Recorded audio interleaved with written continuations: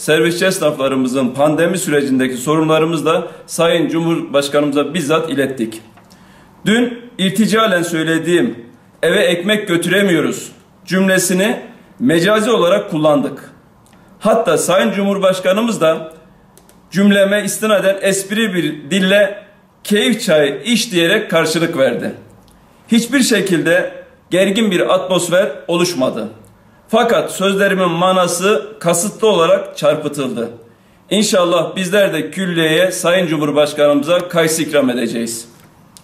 Hayatlarında esnaf kapısında girmemiş, halkın derdine derman olmamış, derdiyle dertlenmemiş, insanların elbette bizim Sayın Cumhurbaşkanımızla olan muhabbetimizi bilmesi beklenemez. Cumhuriyet Halk Partisi Milletvekili Sayın Veli Ağbaba ve gazeteci İsmail Saymaz benim sözlerimi değiştirerek videonun tamamını izlemeden kesintiler yapılarak Sayın Cumhurbaşkanımıza karşı kirli ve bir siyasi silah olarak kullanmak istemişlerdir.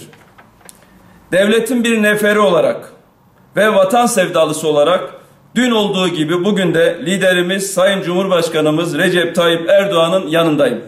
Hiç kimse bu yalan makinelere inanmasın ve itibar etmesin. Esnafımızla birlikte Sayın Cumhurbaşkanımızın yanında olacağız. Sorunlarımızla çözüm noktasında esnaflarımızın sorunlarını çözeceğine de yürekten inanıyoruz. Sayın Cumhurbaşkanımızın görüntülerinin tamamı seyredildiğinde ise görüleceği üzere dosyamızı bizzat kabul etti ve sayın vekillerimize gerekli talimatları vererek çalışmanın yapılması noktasında bizzat gerekli talimatları vererek dosyamızı kabul etmiştir. Bu da servisçi esnaflarımıza göstermiş olduğu değeri göstermektedir.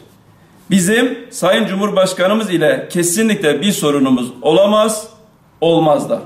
Tekrardan altını çizmek istiyorum. Bundan önce olduğu gibi bundan sonra da Sayın Cumhurbaşkanımız Recep Tayyip Erdoğan'ın yanında yürümeye devam edeceğiz.